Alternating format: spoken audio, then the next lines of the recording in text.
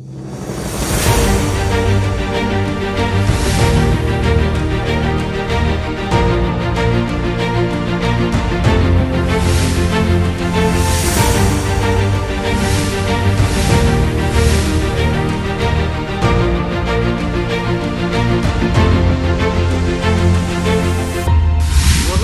саяси көзқараспен отырған ешқандай қылмыс жасалмаған азаматтар екенін біз оны атап тұрып аттарын атап тұрып соны жазып и талап етуіміз керек. Босатсын бұндай қудалауды қойсын тоқтатсын. Отызға толмаған қыздар олар қандай экстремист қандай террорист? Ну күлкілі нәрсе ғой бұл.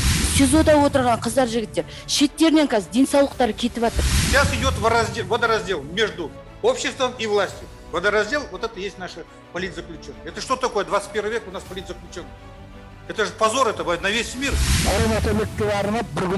бәріміз жан ұшырып пикет істейік. Қытайдың бірде бір заводы қазақстанға салынбасын. Салғызбау керек керек жоқ. Әрбір қазақ қай жерде болмасын ол біздің азамат па азамат емес па? Осы қазақстанның қорғауында болу керек.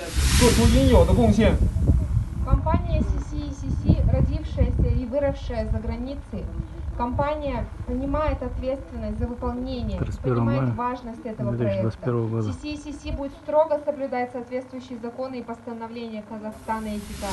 Мы как ветераны боевых действий нашего союза, Республиканского общественного объединения, Союз ветеранов, участников боевых действий на той же Кавказской границе, требуем остановить вот эти строительства в партии НТГ. Надо объединяться всем под едиными знаменами, флагами. Должны отстоять нашу независимость. Вот таким способом. бұл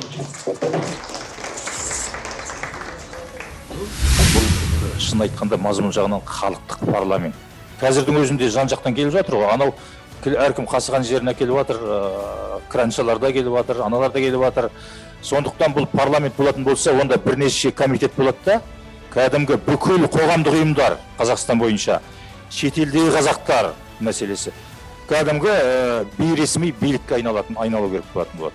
Басқа бізде амал жоқ. Міне осындай жағдайда ресми билікпен кәдімгі ә, шартты түрде жұмыс жасауға тура келеді. Бұл шынымен халықтық. Мыналар неге депутат болмасқа? Мандатты осылар алып неге елдің билігін осылар алға бастырмасқа деген әңгіме болу керек. А ресми билікте бізге қарап түзелу керек.